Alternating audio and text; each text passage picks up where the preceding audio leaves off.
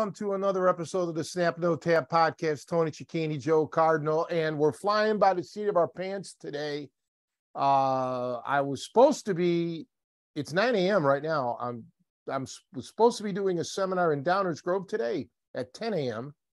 Uh, and it got postponed until next week. So those people, I'm, I'm sure by the time everybody watches this, the time will will have elapsed. But um, apparently, the Krav guys had their big test last weekend, and they're still pretty banged up over it. And a couple of people are traveling, so to make it a more cohesive unit, they don't want to miss out on the training. So we're just going to postpone that till next Sunday, which would be uh, the 23rd of October, 10 a.m. to 12 noon. But yesterday we had our first uh, of a continuing series of seminars at um, Bender Martial Art and Fitness. Joe was there. It was terrific. I got to meet a couple of, so quite a few new guys, uh, new people, um, and some old friends too. Joe Dankowski, his girlfriend Becca, of course, Joe Cardinal, Jason Bender, um, and um, a couple of Serbian Greco-Roman guys. One of them, Alex, is uh, Jason Bender's Greco-Roman wrestling coach. They participated, and Bobby, who's a member, I think he said of the, didn't he say he's a member of the Serbian national team? Yeah, I think they're both high, like high level. They're inter- international stars, yeah, Yeah. and they're down to earth, uh, really great, um, and uh, a couple other guys too. Uh, you know me with with forgetfulness. I can't remember everybody's name, um, but was a nice turnout. I look forward to next month's month next month, um, and just building. Uh, and uh, we've got to get the word out. So obviously, I don't know how many people watch the podcast or listen to the podcast. Um, and probably I gather the majority of the people aren't in the Chicagoland area, which is kind of strange. But that's just how it seems to always be. Uh, but we got to, you know, start spreading it out. Earlier, before the seminar, Melody was there and she had to take off. But I told Melody, because I've been teaching in the Chicagoland area for longer than most people from the 90s, um, early 90s, like, I don't know, 94 ish, 95, mid 90s, however you want to word it, it doesn't matter. It's been a long time. Started in Stone Park, went to River Grove, went to Bensenville, kind of deal.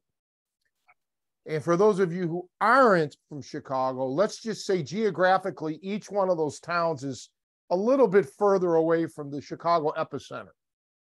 And I, as, as I mentioned to Melody, I don't know how it is in other cities, but Chicago is weird in that people don't want to travel to train. Um, it's astonishing to me, and it's not a good thing because um, I have people coming from all over the world to train with me, and I know other folks uh, who have made the, the trek either for martial arts or music in particular, uh, hundreds, if not thousands, of miles to study. But in Chicago, it's just like they want everything so convenient.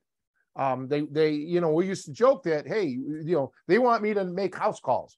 Um, so it's, it's not surprising that you know that the people that are listening to the podcast uh, aren't from Chicago, aren't predominantly Chicagoans because now I'm not really based in the city. I'm even though technically I am when you figure base Bender's gym and Krav gym and downers, but it, it's like the people from all over.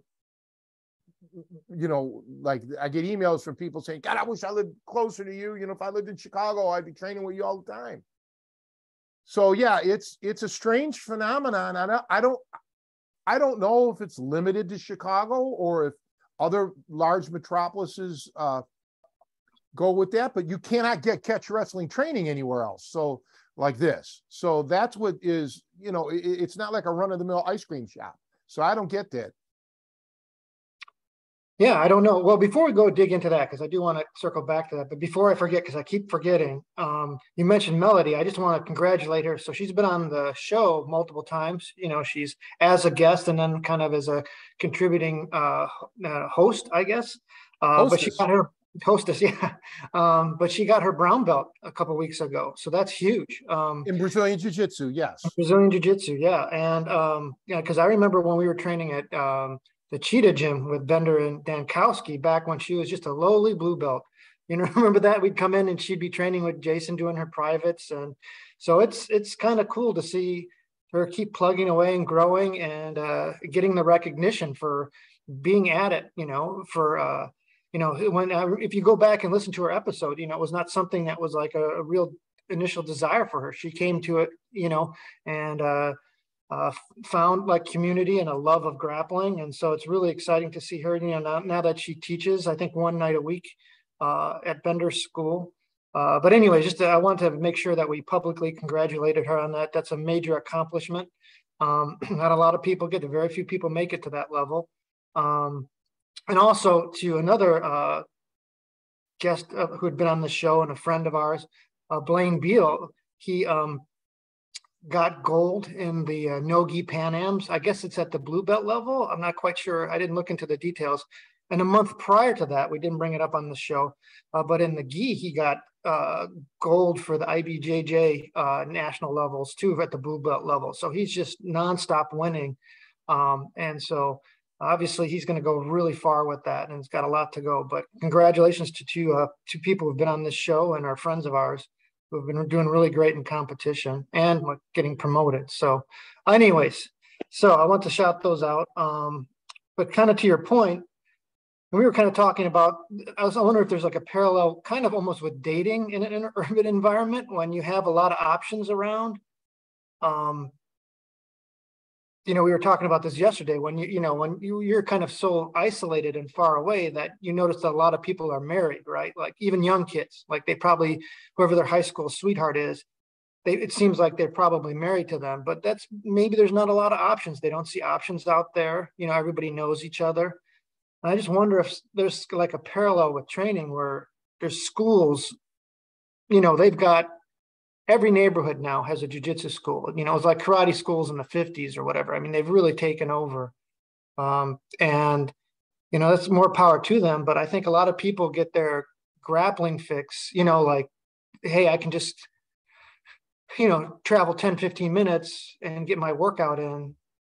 I think that that is maybe as far as some people want to take it, you know. And so, in some ways, you've got more people, but also um, you know, I, I, don't know. I think it's multiple things, but I think that's maybe part of it. So it's pros and cons. You know, um, I think you obviously your your lineage and style of catch wrestling is unique to the world and the knowledge you have, but I don't know if a lot of people get that. You know, uh, like we talk about a lot of techniques when, um, you know, if people take the time to study your videos and go through it, some light bulbs should go off that you're teaching something different. You know, and people who are I think who are experienced with grappling, they should see that. But I think that maybe you know when people are just starting out, well, not even just starting out. I guess obviously that wouldn't be what we're talking about here.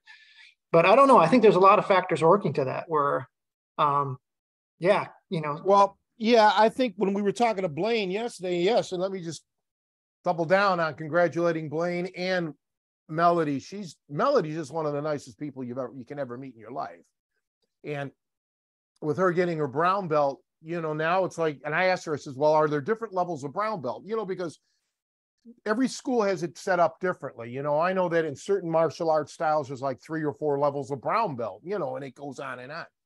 She says, nope, this is it. So the next one is black belt. And it can almost be anticlimactic at times, you know, when you're getting that much closer to your end goal. But like I mentioned, or black belt means really in the scheme of no- life, nothing, you're still nothing because you're still going to learn. You're going to learn forever. Uh, but uh, congratulations to both of them. But like when I mentioned to Blaine, or Blaine brought up to me, he's like, "Yeah, I've been hearing all, you know, these wrist locks or this or that." I said, "Look, what I teach is far more than just modified submissions or more technical submissions. It's the whole approach to fighting, uh, of utilizing space and this and that. It's a lot more fear. Uh, it's more scientific and more technically oriented than just learning certain moves."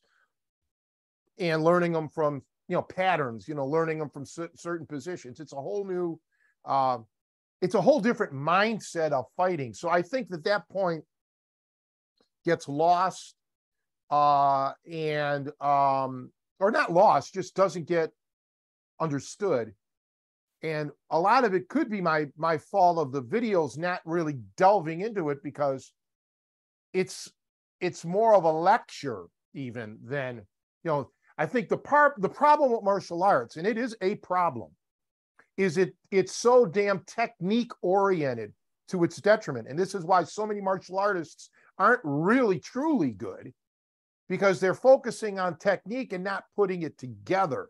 Okay. Um, there's only so many techniques that are going to work, and yet there's thousands and thousands of techniques. It's overkill. All right. Um, and it's learning the application of it. How do you do it? How can I be more creative? Um, and I, I mean, at times I've tried to demonstrate it in videos. Um, back when I used to make videos all, all, the time, pirating pretty much put the put the kibosh on that. But it's it's something that needs to be you have to be immersed in it. So yesterday, um, pretty much half or, or may, uh, maybe more than half of the people there never were in, have never trained with me, and maybe they they've only heard about me through word of mouth. But it was interesting, if you know this, Joe, when I put when we did cover some submissions, when I put the submissions on them, their physical reactions were all, like epic. And these are grapplers. These aren't like karate men or you know whatever, or to- totally uninitiated. And that's what separates what I do from any other guy in in the martial arts world, including other people that call themselves catch wrestlers. They don't their their submissions aren't at that you know you just don't get that kind of reaction, um, and you can't get that from watching a video you know, you see it and you're like, well, that can't be, or it's he's overreacting. No.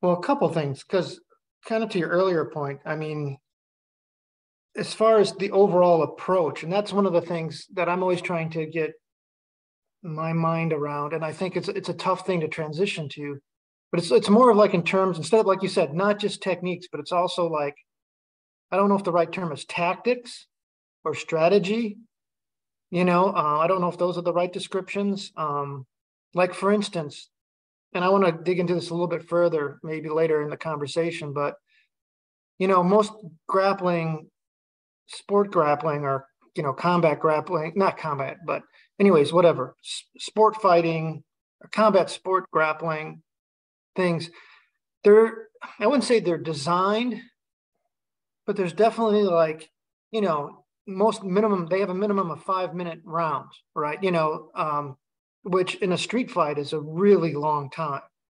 And the impression i get especially when like yeah yesterday you know when i was i was being the uh the dummy for you to drill on or to demonstrate on i was not going to last like it was over within seconds because of how vulnerable I was. You know, once I had lost position, let's say you got around my legs or whatever, took me down.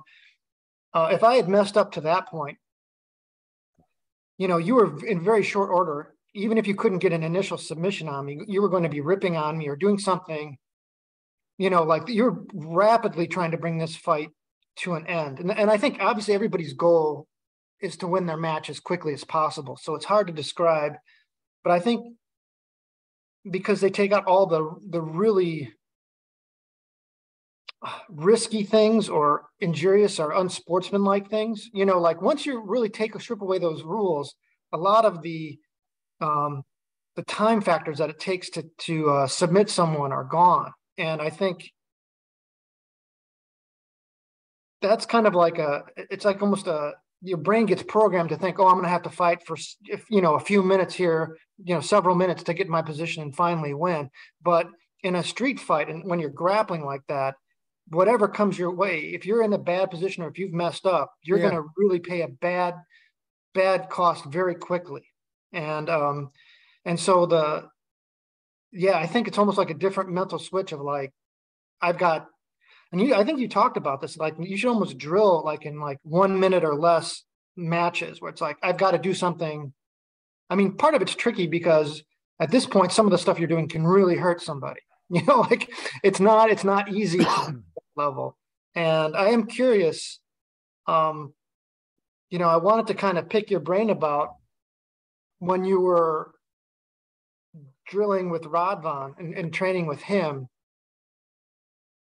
You know, a I guess let me take a step back. Um, so uh, I think we've talked about this often that, like you said, the first six months or so, you were just building conditioning, just building yourself up to have the endurance and strength to train after that, you know, he began to show you some moves and some some holds, like the top wrist lock was maybe the first thing he showed you. At what point, how much longer after that? When when would you guys actually start to go live? You know, well, what? almost from the get go. Let, let's clarify a few things here because you know, yeah, it was. Let's call it six months. I don't remember exactly. It could have been four. You know, that's right. irrelevant. That's all bullshit. But during that period of time, he would still work on me. Okay. He was ripping on me and just this and that and testing. Okay. So for example, here, let's let's spell this out for people. When you're lifting weights, which I did not do, we did not have access to weights. I wasn't uh, lifting weights, but the correlation is this. When you're lifting weights, if let's just use the bench press for an example, and you're bench pressing 200 pounds, two reps in the course of a month, now you're benching 200 pounds, four reps, what, whatever. You can gauge it, you're making progress. Well, with these kind of exercises, it's not, you don't have that built in, uh, there's no gauge on how you progress. These exercises were designed for one, to get me to develop the conditioning that I'll need to last so I can do the, the thousands of repetitions but also to strengthen and toughen my body in ways that uh, you know that you're going to have to find out am i making progress and that was by him locking me up and doing things and ripping and you know getting my body calloused and and and and my mind mentally prepared for all of it. So um so in that essence we went live probably within the first couple of weeks you know um just so you know i i had an idea of what's going on and it wasn't just mindless exercises. As far as um learning the application of holds yeah that came a bit later you know a, a, a few months down the line but yeah it was a constant uh beating there's just no other way around it it wasn't permanent crippling things but it was um, right from the get go. Okay. And I know that you want me to, and you mentioned yesterday, you want me to train these people as day one, like that I did, like from the very day one. It won't happen. Um, it would take a pilgrimage. It really would. It would take people that would want to come probably to my house and just say, look, here we are, let's go. And, you know, give, give me nine, give me one year of of that intensity. Uh, we're living in a different day and age. Uh, these people that would come to me now are not children. Their their bodies are older and already gone through uh, whatever it's gone through. Uh, they have jobs, they have families, and this stuff is not for the weak. So, you know, it it may not be a, it may not be practical. I, I'm not sure that there'll be anybody in the world that will be able to go through it. Not just even besides their willingness, just because of the necessity of life going on. So it's tough. But I can tell you this, uh, to to go a little further into, it's not just the ripping. It's and it's not just a strategy because it's easy to say, well, get, get around his legs or circle to the head, this or that. But you can't just do it. You got to do it the right way. It would be like talking to a little baby and tell the baby, come here, walk over here, walk to me, come to me, walk to me. Now, hang a right, hang a left, and then walk straight. The baby doesn't know how to walk yet. The baby doesn't have that knowledge, that balance, all the, and that's the same thing here. It's so it goes a little beyond strategy. You got to know how to move on the ground. If if we're focusing, let's say, on ground techniques, there's a right way and a wrong way of moving on the ground. There's a right way and wrong way of your hips. And should I elevate? Should I go lower? When do I elevate? When do I go lower? Do I drive with my balls on my feet? Do I stay on my arches? Do I stay on my insteps? Do I instep? Do I go? Uh, so it's more than just the strategy itself. You know, you to again, I have to relate back to music because it's so pertinent. When you have a master like Oscar Peterson or the late Joey DeFrancesco, uh, they think so quickly and they're able to improvise and create. It's called um, inventions, right? Because they're inventing patterns and they're inventing runs on the spot that's that that have never been done before, right? Um, so you could you could say like when I had when I was talking to Joey DeFrancesco, what what do you do here? I mean, what are your thoughts? How are you moving the chords? Well, you got to know what the chords are. Number one, you got to know the fingering. You got to know are you playing this chord with three notes, four notes, five notes, open harmony, closed harmony. So it's easy for Joey to say, uh, you know, D minor seven, D flat 13th, you know, this or that, whatever. But first of all, the, the, the person he's telling it to has got to know what those chords are, got to know the voicings. So there's a lot more to it. And um, that's hard, Joe. That that's that's hard, and, and especially now when people are so immersed into different styles of grappling, there's things that they're going to have to unlearn. Okay. Um, and you know that's just that's so it, it's it's really not just as simple as saying well okay well let me talk to tony on the telephone you know or on a zoom you know and he can explain my strategy no you you you've got to work at learning how to walk all over again so to speak and some people just don't want to do that. Um you know they're so invested in the way they're doing it and they and they're almost self-defeatist thinking i can't learn it. I'd have to unlearn and then relearn and yeah they're right. You have to unlearn it and relearn it but you can do it. It can be done. It's just a question of desire.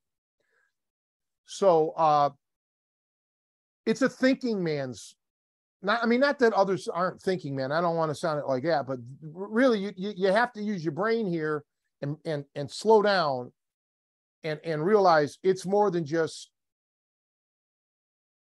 brute physicality okay? There's there's subtleties here that go missed um and that and, and that most people can't pick up on a video you know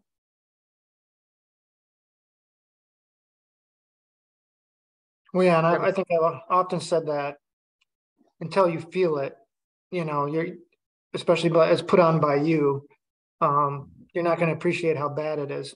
but I mean, I remember seeing your videos initially and being impressed with with a few things t- technically and like just like I said strategically again I was like oh this makes a lot more sense to me just from some ways that I felt vulnerable from training in the past then it got I think you know like I think I went to a, at the old tool and die in Stone Park. We you did a seminar back there. When you put the holds on that was one like the, the, the real awakening was was like holy shit this is so much worse.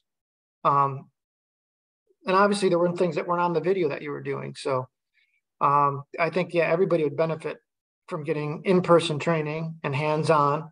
Um that's what i always think like in these workshops and seminars that um like i think you demoed on a few of those guys so they got to feel it like you said they they got to react to it um and I think that'll, no pun intended, leave an impression.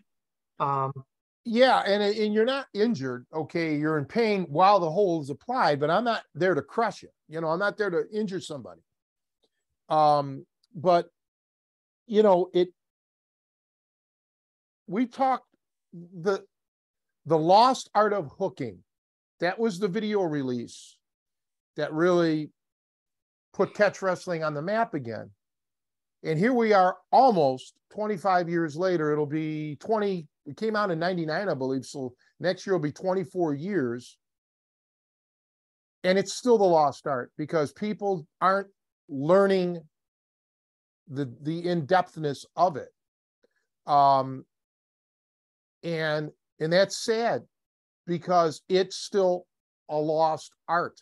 Uh, even though it's exposed now, uh, and it has been for almost a quarter of a century. Very few people, you know, have wanted to dig in and and really learn the intricacies of it because it's it's not easy. If it was easy, then everybody it would you know it, it would be able to be done.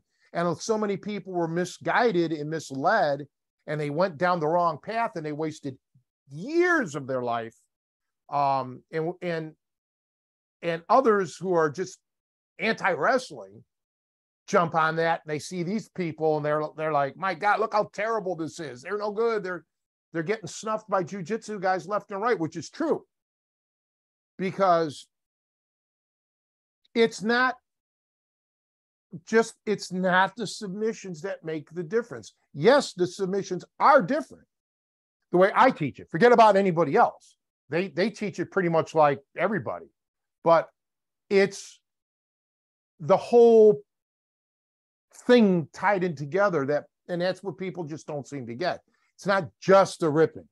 It's that's missing. It's not it's not just the the the, the real technical aspects of the submissions it, it is the strategies in a way but it's also how do you apply these strategies that's the that's the thing that's missing in so many people they just don't want to do it um and they don't have to do it Okay.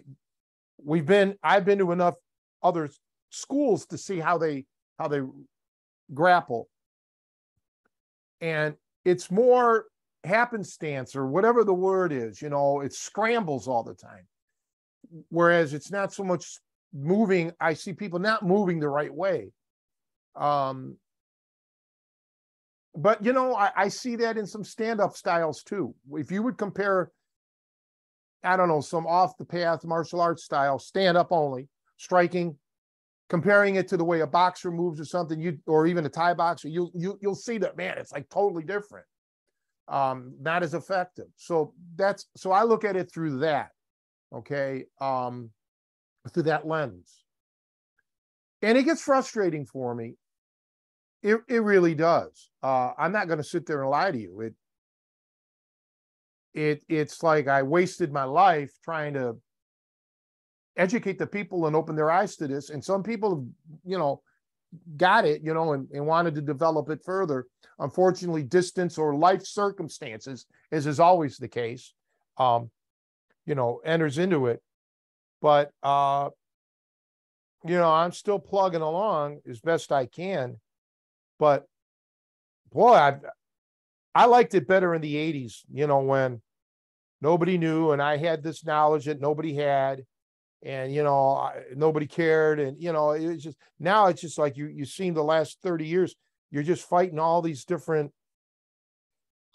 elements that you don't really need to and the and the bottom line is nobody's making me worse. You know it's not like my skills oh i see this different style that's so much better. That never existed. I never saw it yet and i, I don't expect to. But it just bothers me now because I kind of got on that kick 30 years ago or 25 years ago, whatever, 30 years ago of wanting to share my knowledge. Uh, and again, in hindsight, I should have just kept it to myself, you know, and and went about my life, had a day job, and I could have been retired now, sitting pretty, and still have all the ability and knowledge that I ever did, you know. So I gambled. I shouldn't have. That's my take on it. Well, I, that's unfortunate that you feel that way about it. I mean, I don't. Oh, I certainly do. I and I don't apologize for it. And it's not my fault because I did everything I could for these 30 years, even with my extraordinary life ex- circumstances, health issues or family issues and shit. And I still, I've always been available. I've never like gone underground, so to speak. I've always had the website. It's never gone away. I've always had ways of getting a hold of me. That's never gone away. I've always tried to still coach. You know, I mean, I had consistently until what, five years ago? I always had a gym. You know, I was either in Benson, uh, Stone Park or Triton College or Bensenville. You know, I never walked away. I was, I've always been there. And if people didn't know about it or this, that's, I, I'm sorry, I, I hate to sound this way, but straight out, it's not my fault. I've been there. My my website's been there for forever, and uh, you know, you Google search me, and now I'm getting up there. I'm almost sixty years old. You know, uh, and I've lost the desire many years ago because of what I'm I'm just telling you now. But I keep going because of the few people like yourself or others like Jason Bender telling me how much he loves me and he's so thankful that I'm working out of his gym. That means a lot to me because I'm sentimental about this shit. Okay, so I can bitch and moan like most Italian guys. You know, we we complain all the time. You know, this that, and then like like like uh, Corey said on the phone. But you you won't hear me complaining, right? That's just how we are. That's that's how our nature is. We'll go bitch and moan and bitch and moan and bitch and moan. And then at the end of it, well, you won't hear me complaining. Well, that's just how I am, right? I, I'll bitch and moan about this, but I still do it anyway. You know, I, I mean, I still continue on. Um, but I've been honestly, let's flip it over on the flip side. I've met some some wonderful people through the years. Now, this last two weeks, we've had a uh, an issue correspondence. I don't know if Russell Stutely's getting your emails or not, but we also got to get Terry Dow on because Terry's chomping at the bit. Um, these are just two guys out of many that that that that that that are a complete different walk of life as far as the martial arts world that that entered my life and will be in my life till the day I die. Just great martial artists uh, in their own way and and and experts at what they do. And you know, I love it. Jason Bender. Well, now now we're uh, we're kind of close because of the uh, the grappling, but I've met strength at, strength athletes or just other kind of people that you know that really aren't even martial artists. That I've been blessed in a way, very enriched. They've enriched my life. Uh, many are some have passed away, unfortunately. Kevin being one of them. Um, but you know, so I may bitch and moan about the catch wrestling shit, but overall, I've met some world class people. I've been I've been lucky. Yeah, and I think you've influenced people all over the world. I, you know, I've, uh, it, you know, whether or not they've completely understood your approach or been able to execute like you do, um, you've definitely, if anything, you know, uh, supplemented people's training and influenced them. You know, I mean, we have people. We've had, obviously, you meant you mentioned, um, you know, Russell from Cambodia, who's influenced by your stuff. I've seen people in Singapore. There's some. You have some Tri C members Yes. from there, I believe. Yeah, P- students in um, England, right? All over. Yeah, all over. So I mean, and and you've spread, like you said, whether or not you get hundred percent credit for it, the world knows about catch wrestling because of you. You know, you you rearranged. You know, people were calling it Shooto or some. You know, like it had it had lost its roots somehow, you know, going overseas to Japan and stuff. It, it kind of, and you tied it back in for everybody as to where, where this stuff was coming from. And, well, you know, um, let me interrupt before I forget because my memory is short. But you know that I've been cleaning out my attic, and I've and I've gone through a lot of paperwork. I've thrown out business related stuff from years, twenty years ago or longer, whatever. Just some shit can and everything. I got to get rid of stuff. But every so often through this cleaning that took hours, and I'm still not done. I'd stop and I'd read something that somebody had written me. Back then, you know, it was a lot of mail correspondence. And yeah, they brought up about, wow, you know, you really showed us the difference between what the Japanese style, you know, that that Shooto, that Karl Gotch style, and how how you're more of a, you know, wrestling based and the submissions are different. So years and years ago, people did realize the difference. There were certain people out there that realized it, okay, because they were exposed to um, that style because that was kind of popular in in Europe or Asia. Maybe not so much anymore because it's all pretty much Brazilian jiu-jitsu oriented now. Um, so there were people that understood that and and and you know got it. But part of the issue, and this goes for anybody who's interested in in doing this as a as a business, which you've got to understand that the pretty much 99% of your students, none of them are going to be interested in opening up a business, doing that, doing whatever it is you're doing. Okay, whatever style it is you're doing. They may be doing it for other reasons and they're not going to be professional minded about it. Okay. Um, like you, you know, you have no desire to open up a school. Most people don't. They just want to get better at what they're doing. So that's great. And that's how it should be. I never had any idea that I was ever going to open up a business doing this. It just, I fell into it. So that kind of hurts the spread of anything, not just what I teach, but could be anything because, you know, people, they don't want to get commercial. Um, and you had mentioned you know, Brazilian Jiu Jitsu uh, schools, you know, are a little more popular now. So now you're up against that. Um, and and before that, years before that, it was like the Taekwondo schools. Um, and, if, and if you opened up a small non-Taekwondo type of school, let's say a Chinese martial art or even a small Japanese style school, you're up against the conglomerate. Okay. So it's always been hard. This is nothing new. And it's a niche market to begin with. So that kind of hurts the popularity. And I know that many years ago, uh, rival catch schools were opening up these satellite schools, which I to this day I'm I'm very opposed, not satellite schools, but like clubs. And I'm opposed to that. I've always been opposed to that. And I'll I'll die being opposed to that because you can't just randomly you, you, you have to be trained and you have to practice under strict guidelines. You have to have someone like at my level overseeing that constantly, not once a year, not once a month. Really, it should be every workout. Because if you're doing something wrong, you're not good enough as the student to know that you're doing it wrong. You may be able to get some success against whoever else is in your class because you're all like minded and you're all like beginners.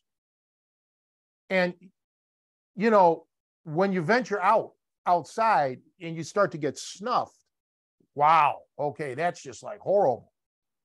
So that hurt me from a business standpoint because everybody just wanted to, at the time, wanted to open up their own little satellite schools or whatever the term is. And I just wasn't going to do it. I said, no chance. With me, you have to be monitored. Uh, and I'm proud of myself for doing that because so many people in any walk of life that are self-taught or they they try to learn like that, you're never gonna you're never gonna climb that mountain of greatness. Okay, you just aren't to do it. Uh, and I know this.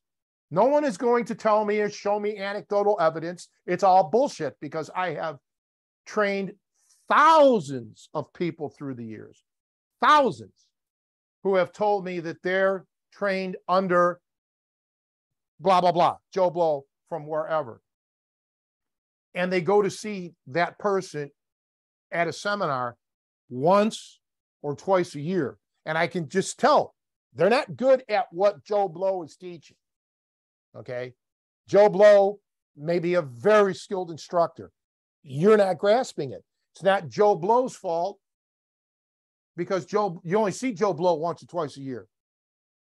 So now you're teaching, quote unquote, what Joe Blow's teaching, and it sucks.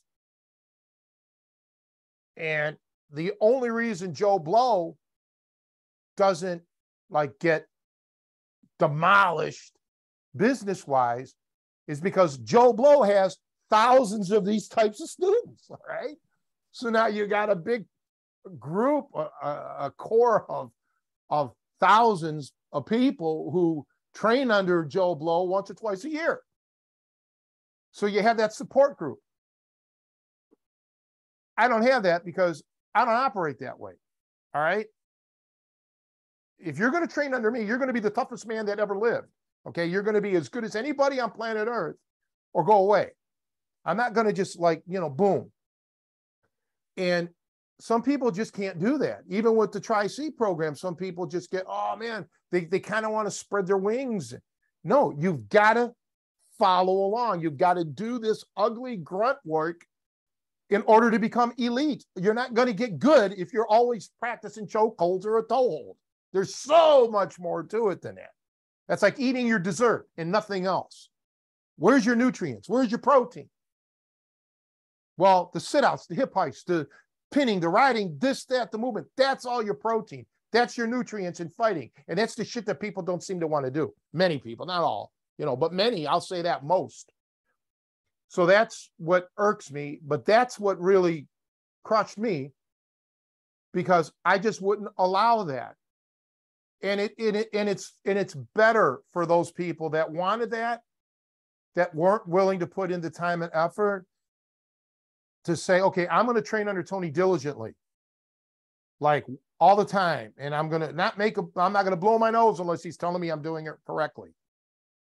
And nowadays, uh, it's so much easier to do this because we can do the Zoom or you can just upload a video. You don't have to mail it to me like the old guys used to have to do. Um, but again, it's time consuming for me. I could only take in a, a certain amount, and and it obviously you have to pay me for this. I, you know, it would it would be costly to do now because of time. But um, yeah, I think that's where that's where it all went south because I wasn't going to sell out. You couldn't buy me in essence. You you you still can't. You have to work hard to make that progress. There was a guy, I'm not mentioning names here because I don't even know if this person is living or dead, but he was legit, apparently in, in his martial arts style, but he was selling black belts. Okay. And I know this because people I was training were, you know, they, they were used to be affiliated with it, you know, with him until, you know, it just got ridiculous. Um, and, and, and that, and that, and that, and that, and that, that can happen, you know, um, Conversely, there's other people. We know somebody who was being held back by their instructor. And people and some instructors do that for uh, what do you call it? Um, training uh, competition purposes, sandbaggers. Okay. But that's not really a sandbag.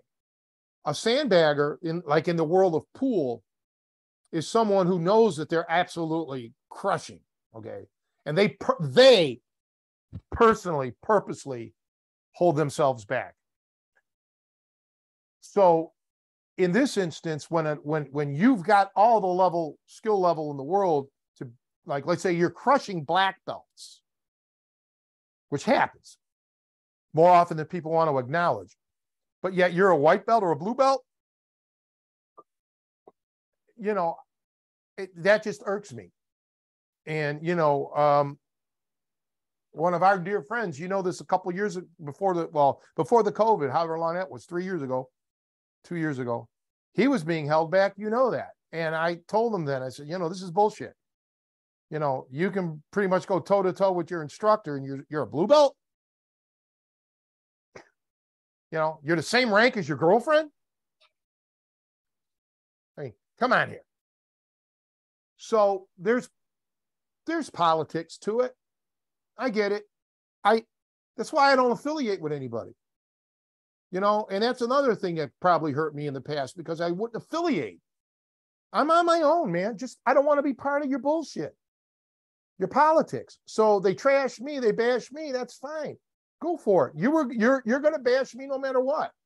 That's but you prove my point. You're you're it's exactly why I wouldn't want to be affiliated with you because all you guys do is is is is is just you know mess with people as opposed to training and getting better. So I I don't know. I don't see that in the music world. Um, I mean, I'm not saying it doesn't exist, and yet to a degree, it probably like a small degree, it kind of does.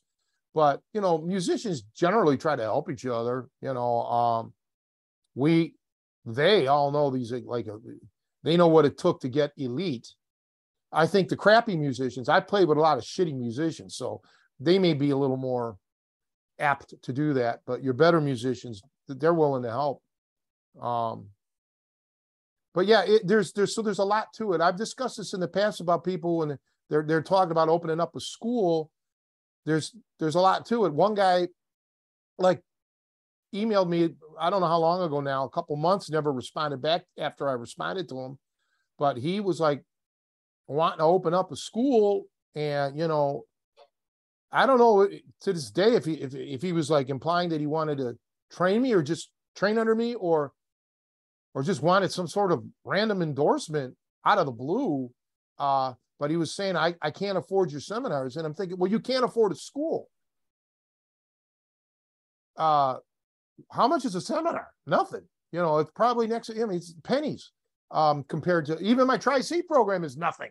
Okay. If you're talking about opening up a school, you have, and you know, and you're that tight on money, you, you don't, you, you, you don't open up a school because there's a lot of expenses involved in it. Um, equipment, um, you know, utilities, advertising, blah, blah, blah. You have to budget for all of this.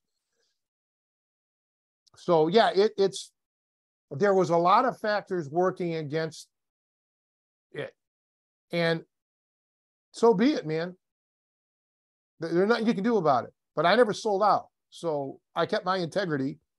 And not everybody can say that. That they that they, you know, not everybody can say they never sold out. I definitely sold out, but you know, that's another story. Well, with your looks. Yeah. Um, so I do want to mention something else that I really wanted to start the podcast off of. We still got a ways to go, but let me throw this in there. So yesterday, uh, when I came home and just chilled out, really finding out that I didn't have to coach today. Um, and anyway, I laid down and uh, had the Cleveland Indians ball game on, the Guardians playing the Yankees, and I'm watching. The Indians are up two to nothing, and then the Yankees tied it two to two, and I know I dozed off. I woke back up. Yankees are winning four to two, and I just could not, for the life of me, stay awake. And it was like the sixth inning, I think, or maybe the seventh inning. I don't remember now. Seventh inning, maybe. And I just fell asleep, passed out. This morning, I wake up early. I check the score. The Indians scored three runs in the bottom of the ninth to win the game. They're up two games to one now in this best of five series. Wow. So the Indians can wrap it up tonight. So I and they're playing at home again at, at Cleveland. So the so I'm gonna watch. I'm gonna make sure I'm you know I'm gonna do the attic and get all that out of the way and then watch the Indian uh, the Guardians and um and pull for them to get into the championship series. Um, so yeah, uh, but you know, but for a lot of people that want to train, they got to understand that their coach, regardless of who that coach is, it's still a business. Okay, for the coach. And while you you you would love for your coach to say, okay, it's a free lesson here or there, you know, most people aren't in a position to do that. Okay. I mean, unless they're either independently wealthy or they they have a job, a day job that makes enough money where they can pay the bills and gives them enough free time to do it. Okay. Um, but the vast majority of people can't, they're not in that position. So it's, and it's, it's hard on the instructor. Maybe sometimes not so much even physical, but mental, because you, you become attached to the students and you know you want to see these people excel so you end up pouring your heart into it or conversely if if if if it's the other way where you you really never you never really get that attachment. And then the instructor kind of will lose interest. So it's it's difficult. So like if that's why sometimes it's easier you mentioned for for students just to go to their you know corner jujitsu school because it's convenient for them and it's an established business. And you know as long as you support that school it'll, it'll stay there it'll be there um, and it doesn't necessarily mean you're not going to get great training you, very well may be so it, but but the fact that the matter is it's a business you you got to pay and you got to support your instructor in in other ways and uh so yeah don't forget that it, it's still a business you know, and the instructor may cut you a break here or there, but it's still a business. They got to run. They got to keep their their their lights on. I think sometimes we lose we lose track of that. Yeah, absolutely. I mean, and uh, I've made this observation before here, but kind of to your point of selling out, and like if you're deciding to be a business, they have to def- definitely keep their doors open and and do things like kids classes and i mean it's a tough business to succeed at you know um, so you're you're as far as having that core hard crew hardcore group of people who really train um, you know i'm sure it's it's got to be a mix for the instructor where you know they've just got to they know that a certain percentage of people are only going to be there for a short time and then take off you know there's just oh this natural attrition that you don't see those people but then there's the people who are going to stick with you you know, and show up three times a week or more, you know, the, the real dedicated. And I think it's a very lucky uh, yeah. Where they, they get a lot of those kind of people. I am, I'm, I think um, where you can sustain a business. I think that's got to be really tough because like you said, life gets in the way for some people, for most people, especially adults who are, are doing this uh, later in life. Uh, it's very hard to make this their top priority you know, and so yeah, it's it's it's definitely I don't envy any of those instructors. I'm sure it's got to be a real struggle, you know, to keep those places open. Yeah, and I like I said, I always demanded that you you you give it your best, um, and you know, um, I'm not, again, I'm not saying that all instructors across the country or world don't demand the best, but yeah, like you say, there's a lot of workout facilities that are more socially oriented. Okay. As long as you're sweating, it's all good. But with me, you know, I felt an obligation to to teach, to spread my knowledge. Um, and I didn't want it bastardized or I didn't want it misinterpreted.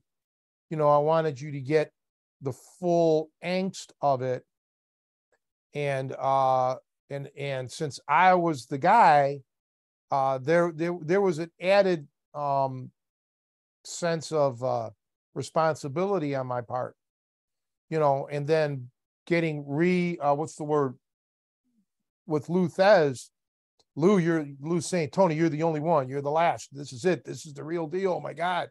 So that you know, this was like, you know, after Radvan's death, just more impetus to, you know, keep it going uh, the right way. Don't sell out, you know. Um, so, yeah, it was like an added responsibility. Okay. And because it was just me, you could have phonies opening up schools. And this has happened forever. I, I'm not the only person that this has happened to. It was hugely popular in the 1970s where phonies were opening up kung fu schools and and it seemed kung fu was the big thing then, you know, with the Bruce Lee stuff and and all of that. Um, and so it's it's it's not a new phenomenon, okay? Um, and you can't police the world. There was nothing I could do. You know what? What am I? What am I supposed to do? Um, so yeah, there was a lot of things that worked against me or just real catch wrestling in general. And um, you know, even wonderful martial artists like like take Erik Paulson, what he does is completely different than mine. Okay. And he's not a purist. I mean, he's not a catch wrestler, right? He does Brazilian Jiu Jitsu, he does Shooto, uh, or you know, uh, uh, his what he calls combat wrestling. It's a blend.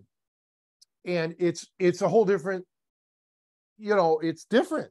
It's it's not what I do. Um, and I'm sure there's others that I I can't think of right now. You know, Jay, uh, uh, uh, come on, he's been in UFC and all over the place. Uh, oh, out of Washington, Barnett.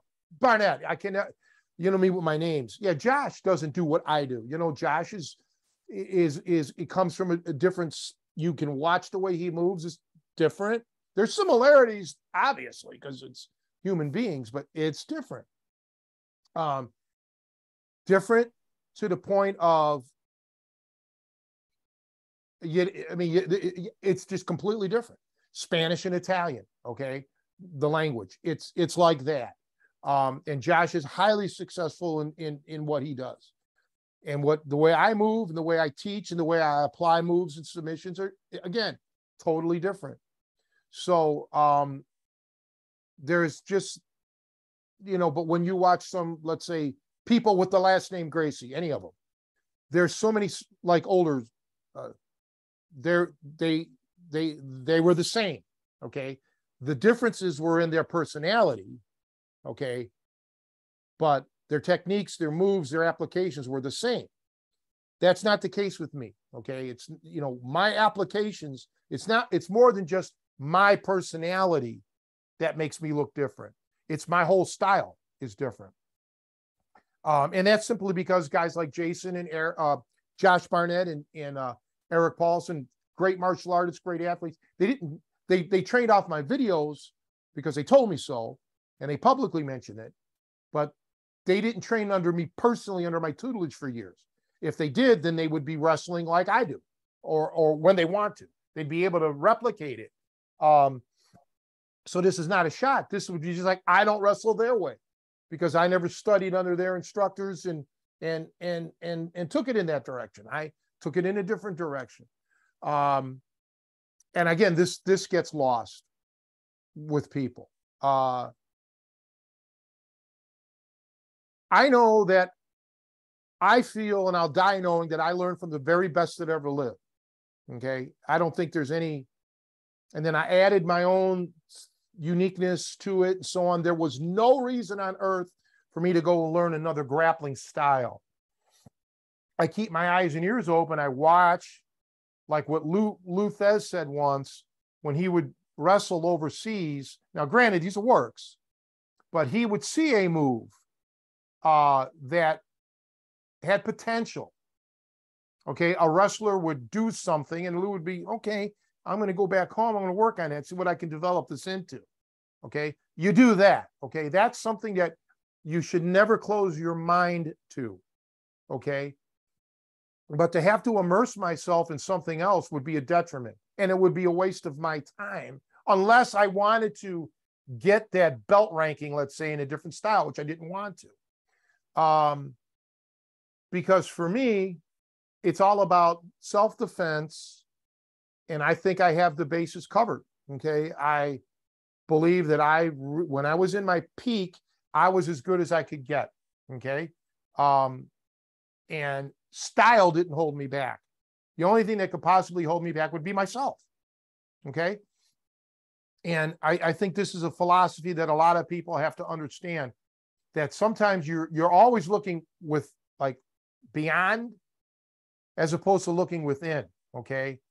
And because of the internet, especially with the plethora of millions of different techniques out there, people keep looking beyond, looking for that one little special technique that's going to elevate them and make them, you know, the deadliest man alive. That's never that's never going to happen. Okay. You got to look within. You've got to make yourself better, stronger, faster. Um, you've got to learn how to move properly. Like I said yesterday at the seminar, even at my age, people think I move so fast. It's not that I move fast, it's just that I'm always in the right position. I don't have to move far. Okay. I mean, I'm just going boom like that. All right. I'm so close that it looks quick. It may be quick because I'm not moving far because I'm always in the perfect position, or I try to be in the perfect position to make that next move. That's not a technique. Okay, that's that's just the foundation, the fundamentals. And and and that's on me to do. Okay. And and I think that's what most martial artists need to learn. Not m- more techniques. You don't need that many, damn it. It's becoming perfect in your posture and in your movement and in your thought processes. That's the trick. That's the that's the secret. Okay. And it is a secret because people don't, well, maybe not now because I mentioned it, but people don't think that way. You know, that or they'll get lost in doing strongman exercises or bench, you know, all this getting so super strong. That's not it either. Yes, getting stronger is important getting flexibility, getting endurance. That's that's your physicality, but it's still putting it all together. And we saw yesterday highly skilled grapplers still doing basic mistakes, flaring out or, or shit like that. Um, it's a, it's it's it's about getting getting getting rid of all of that. Okay, tightening up your game so you don't have a lot of wasted motion and you're not moving further than you have to and um and sometimes it's hard for me especially now it's harder for me to convey these thoughts um like if i held a weekend camp i'd have to have you here with me the, night and day spend the night for the weekend or whatever. And and and we can go through it with with the with the participants um on how to change your thoughts and, and how to change your movement and your body alignment as opposed to learning these techniques because you know it's so many people know all these techniques but they fail in the application and then they blame the technique maybe or they they give kudos to their opponent when in reality, your opponent didn't block the move. The move didn't fail. You did. You didn't apply it the right way. You, you just you broke down along the way. That's hard because now you're dealing with with muscle memory here, and you got to you know you got to just. That's the secret. And that's where people fail. And even me admitting it now and telling people what you have to do, they, they won't know how to do it. They won't have the guidance to do it. you understand where I'm coming from? Well, yeah. I mean, as someone, I think obviously that's where I, I think I have the most to develop, and that's a big hole in my game. You know, I mean, I, just because I've seen the top wrist lock and the double wrist lock doesn't mean I can get it on somebody. So I definitely see that something that I need to work on myself, you know, getting in the right position and moving well. So, I mean, uh, it rings very true that that is something. And I think that's got to be tough for a coach to convey too. That's the, you know, you know, showing the technique is the this easy part, I would think. Showing the submission, let's say. Um, but getting all those those right movements and and the, and the body weight and the control that's that just takes time well, listen, imagine you being a, a baseball coach, baseball, American baseball. And every batter that comes up to bat that you're coaching, you have to teach that batter how to walk, just how to physically walk to the batter's box. That's what I have to deal with sometimes here because people don't know how to quote unquote walk on, on the mat. Okay. So you bring up the top wrist lock, there's more to it than just where your arms are. Where's your head? Where's your hips? Where's your knees? Where's your uh, legs? How wide? How far apart? Are you on your toes? Are you this or that? It's the whole thing. You've got to teach everybody how to walk. And it's frustrating, first of all, as for a coach, Um, because in this, it was easier for Rod Radvan because he knew that with me, I there was no distraction. I I I couldn't just say, "Well, the hell with this. I'm just going to go look it up on the internet." I'll, I'll I'll go to Joe Blow and watch how he does it, and and still not learn it. So he had a captive audience. Okay, we don't have that as coaches anymore. We don't have that luxury of a captive audience. Okay, we're dealing with people who you've got to keep their attention at all times, and that's not always uh, easy to do. Okay, that could be very difficult. But so many times it's about teaching them how to walk all over again. And it's these sometimes non tangible assets that you have to develop. You know, it, it's easier for me to say you're doing you're able to do 20 push-ups, work it till you can do 25. That's tangible. They can see the progress. This stuff they can't see. They don't realize the progress until they're snuffing people, they're tapping people out now. And they can't relate. Well, what did it what is it that I did? Well, now you're starting to unite your body. Everything's everything's working the way it's supposed to work, which is a good thing. So this is why I say that people can learn all these techniques and keep training with whomever, blah, blah, blah. It really isn't going to become a threat. These guys aren't going to become like gigantically talented because they're missing out on the on this stuff that we're talking about. The non-tangible stuff the the body mechanics and and all of this.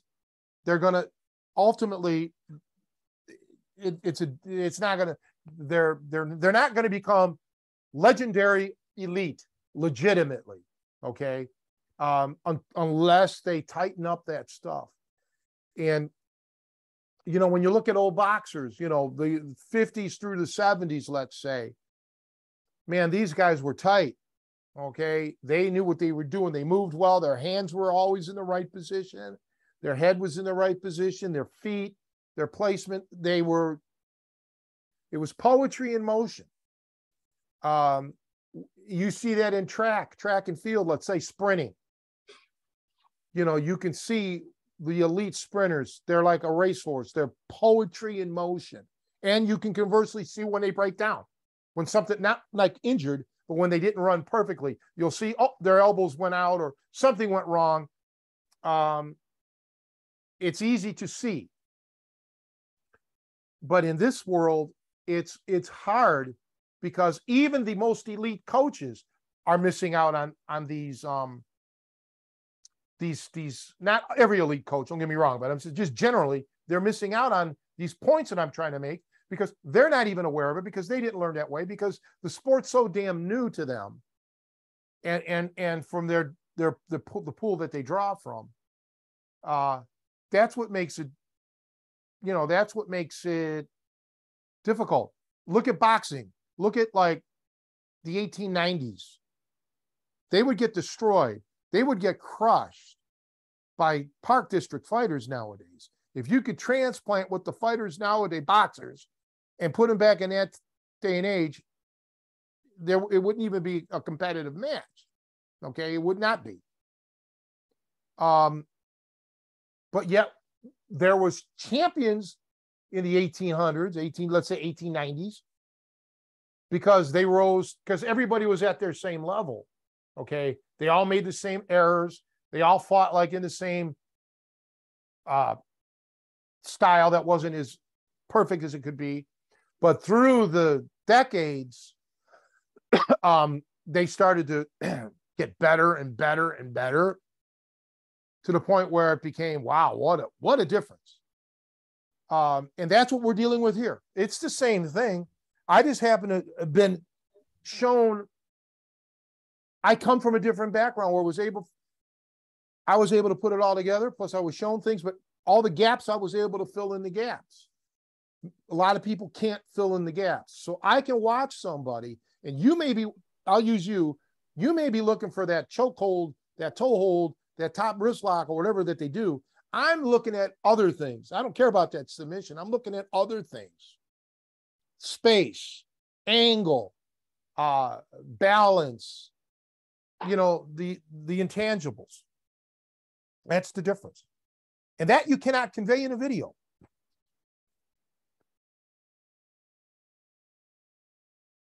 I want to go back to something you mentioned about personality. Um, to me, and I don't know if you agree with this, but uh, do you think that that definitely makes a, a, a difference in fighting? So you have two guys with the same technical background, but if one has the more aggressive or angry approach, uh, that they will be more successful, especially in like a life or death situation. Uh, someone who's willing to be uh, willing to hurt someone.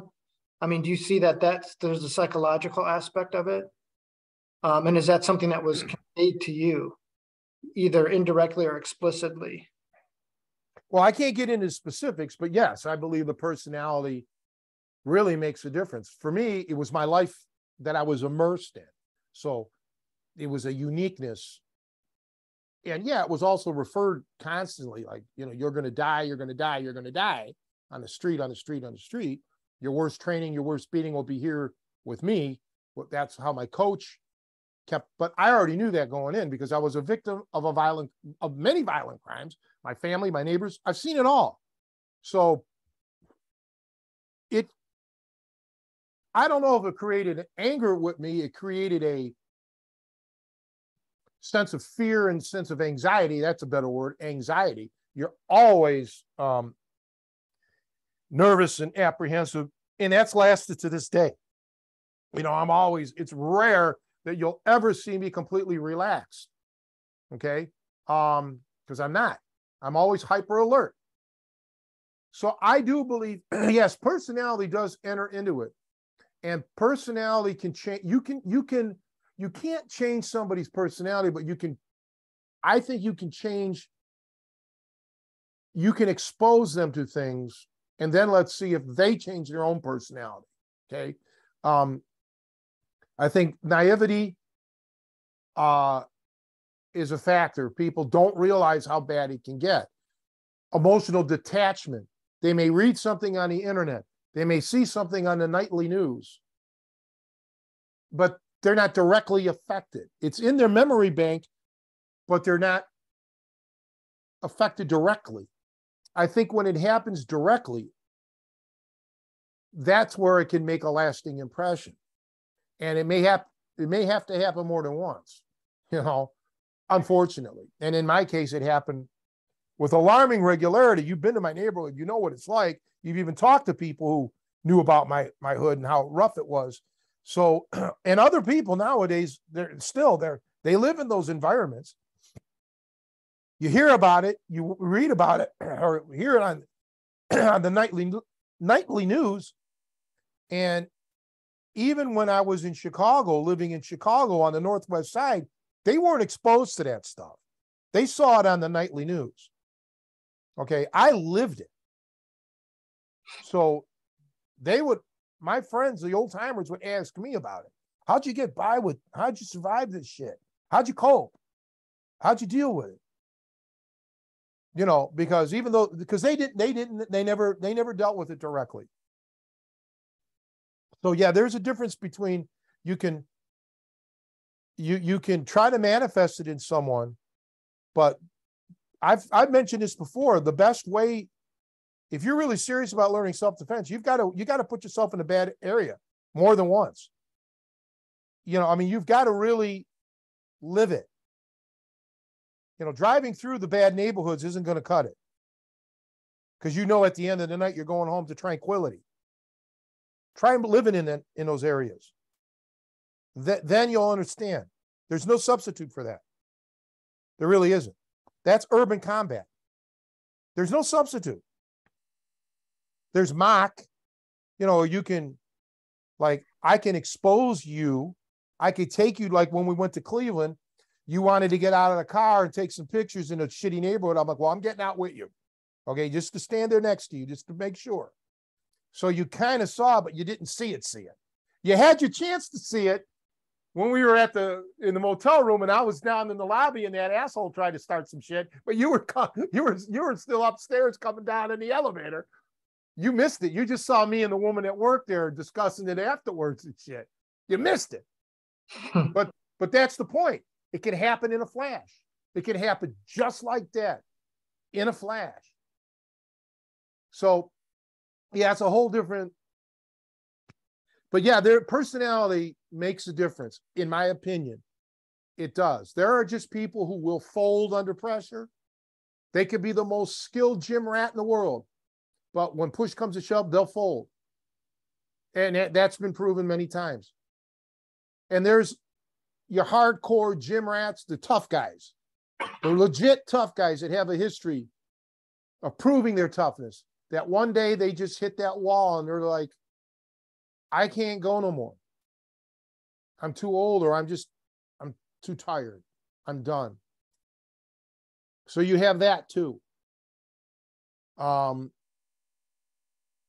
it's, you know, who everybody's different, man. But you look at Buddy Rich when he played the drums, man, he was so ferocious. He looked like he was beating the living shit out of those drums. He had this anger and this whatever that came out in his playing. He was very aggressive player. And even nowadays, when I see guys that try to emulate him, and they come really close, they don't have that anger. They don't have that ferocity. They just don't have those kind of dynamics. They don't because they weren't raised like Buddy Rich. They didn't play and go through the ranks. Buddy started playing when he was two years old on stage. Traps, the drum wonder. So he went through vaudeville and all of that, all the way up. These guys that emulate him didn't have to go through any of that. They just saw Buddy, slowed it down, figured out what he's doing, you know, with the fingers and everything, blah, blah, blah, blah, blah, doing the crossovers it, it, like this. We can all learn to do that. Okay, we have the technique to, or the, the technology to aid us in doing that. But there's that other aspect of it. In Buddy's, it was his aggression, his dynamics, and his unmatched technique.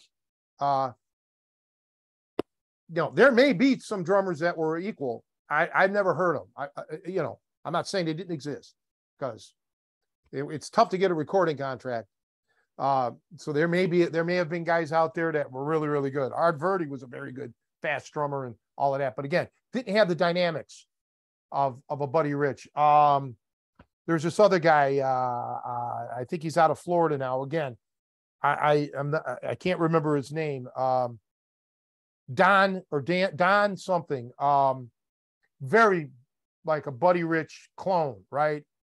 Just is missing that the dynamics. So the anger. That's interesting that you bring that up. I'm glad you did because yeah, that's my take on it. Yeah, I think personality has a lot to do with it. Yeah, I, I definitely think that's a thing for sure. And it's something I struggle with. It's something I try to be well, it's tough too. Um, and the other another related question or and I don't know if you agree with me on this point of it, but when you're, would you say it's helpful or, you know, because I think a lot about like the personality of Radvan and all the shit he went through World War II, the prison camps. He had a tough life, you know, like he probably had some personal demons. And did you get the impression that uh, this sounds like it's almost like like saying something a criticism, but it's not as far. I guess as far as a fighter, him or otherwise, at a certain point, you've got either almost want to hurt the person, like want or and or even to the point of enjoying it. Like I want to hurt, like because I think sometimes in self defense situations, at least mentally, it's kind of like, well, I want to protect myself, so it's more of a defensive. I want to be safe. I want to survive. I want to protect myself. But do you think there's an advantage to saying, especially when I think about like your approach with the ripping and the attacking and making the fight, the, ending it quickly, and ultimately you end up getting the same results or maybe better. But it's like, no, I want to hurt you. You know, I think I've even heard you sometimes say, "I'm going to get a souvenir."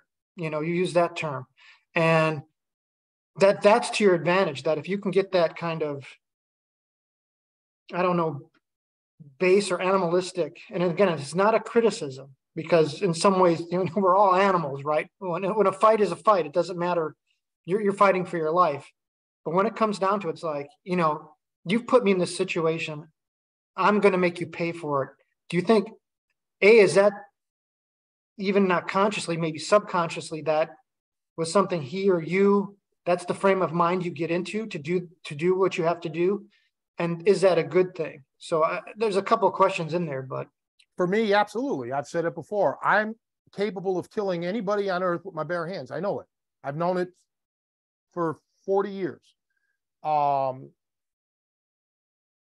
I, and yeah, I, I feel that if you, if, look, if this is just a minor disagreement between you and I or somebody like that, okay, I'll tone it down. But if it's a violent encounter, I'm not only protecting myself, I'm doing society a favor by taking you out, um, or at least teaching you a lesson. Okay, um, that you'll that you won't forget, and perhaps it will be a deterrent.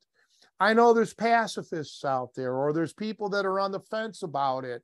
Um, it's very easy to say that when it hasn't happened to you, when you're up against hardcore people that want nothing more than to destruct you.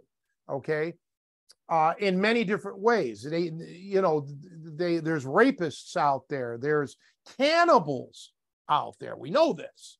There's robbers that don't care about your financial situation. They want to take every penny you have. Okay, um, and not just the money that's on you.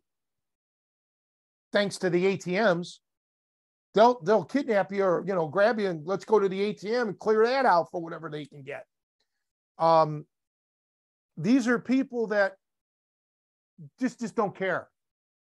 Um, and then when they're done with you, they may go on to somebody else that same night. Okay, I mean, uh, yeah, my whole emphasis was always about hurting this person as much as as possible, um, without getting hung up in it. You know, uh, where it becomes where you're so entangled that now you're putting yourself at risk. So I don't apologize for that. Okay. Um, this is not a game with me. This is not a tournament. All right. You challenge me, you're taking your life into your own hands. And, and my whole goal is to kill you. I've said this before. This is nothing new. Okay you're a you don't know what my conditioning is right now. You, you know or anybody right? We'll use me as an example. I could be a 75 year old person that that may have a fatal heart attack or you may hit me or push me and i fall and i hit my head and i'm dead. That just happened recently on the news. Um, so these are life or death encounters. And i've told people this and i even mentioned it yesterday. You've got to assume that the person you're going up against in the street is the deadliest, most dangerous man that ever lived. Okay. Because yes, you every encounter is a life and death encounter. They don't need to pull a gun or a knife. They don't have to do that. Okay. You don't know what this person's capable of doing, man. So, yes, you have to look at this as a death match.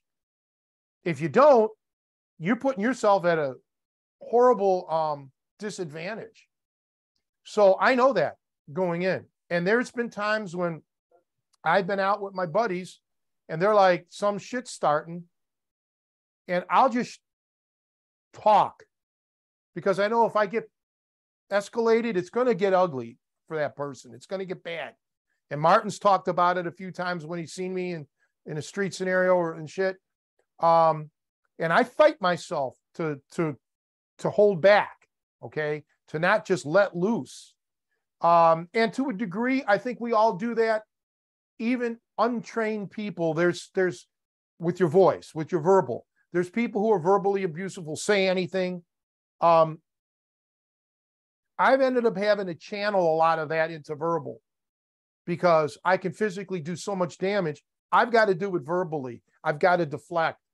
Um, and and many times in a street scenario that that's effective that's enough um, but the difference is i can back it up if the verbal isn't good enough a lot of people can't back it up they bank they bank just on verbal uh, the other thing on this is these people who try to teach you the psychology of self-defense. By the way, I never considered what I did self-defense. Matter of fact, I used to advertise self-offense. I'm very offensive oriented. I'm not going to wait unless you know if somebody sucker punches me. Okay, now it, it happened. But generally, I'm gonna I'm gonna go into action. But anyway, uh, to change to, to to help somebody psychologically is a very deep and time consuming process. Okay, it's not something that's going to happen instantaneously. The best, quickest self defense trick that you could do psychologically is cognitive dissonance. Okay. And so, for example, I mean, every situation would be different, but let's just say you're a trained mugger, you're a robber, that's what you do. You pull a gun on somebody, put your hands up, you know, and they react that way. They'll they'll put their hands up. This is normally what they expect. I'm exaggerating here. So I'm just trying to make an example cognitive dissonance would be like, you know, flipping the guy off, grabbing the gun and attacking him, or not even getting him to that point, but just not cooperating in an aggressive way, something that would shock the person, right? Now they're they they're they're trying to process this. Wait a minute, this isn't what I expected. But again, you can't just rely on these are tricks. You you've you've got to have the backup to do it. You you you know because you can't expect this crazed person who may be on mind altering drugs to react textbook psychology. All right. So all of these little tidbits are great to have, but you you gotta still have to you still have to have the physical ability to back it up. Do you? You know, that's who knows. Um, everybody's different. But I can tell you this anybody who relies strictly on grappling only, ground fighting only, let's put it that way, you're you're in trouble you're in a lot of trouble. Okay. Um, you can't be that um, narrow minded, just like they used to say when, oh, you can't just be a striker. You got to know grappling. You can't be so narrow minded just to know striking. You got to be balanced, but, you know, but you've got to be able to push that button when you can. You got to be able to hit that home run. Some people just cannot do it. So that's my take on it, and it always has been. But you know, yeah, once it's the fight's on, it's all on with me.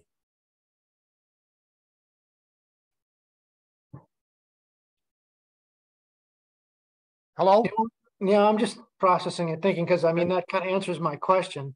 Um, we've been going about 90 minutes. Do you want to keep going? Do you want to wrap? Well, let's. Up? If you have one closing thing, let's let's hit it, and then um, and then we'll wrap it up. But you know the, the the the whole point is even in competition there's there's ferociousness okay? Dick dick butkus or you know uh, bob gibson in baseball. I i can't off the top of my head come up with examples but they're there of of ferociousness that they they, they would sometimes go within or with over the rules. They'd bend the rules or outright break them okay? Conrad dobler who played in the nfl was known for a while as the dirtiest football player in the NFL. Okay. I guess Alex Karras, who became an actor, Webster and shit.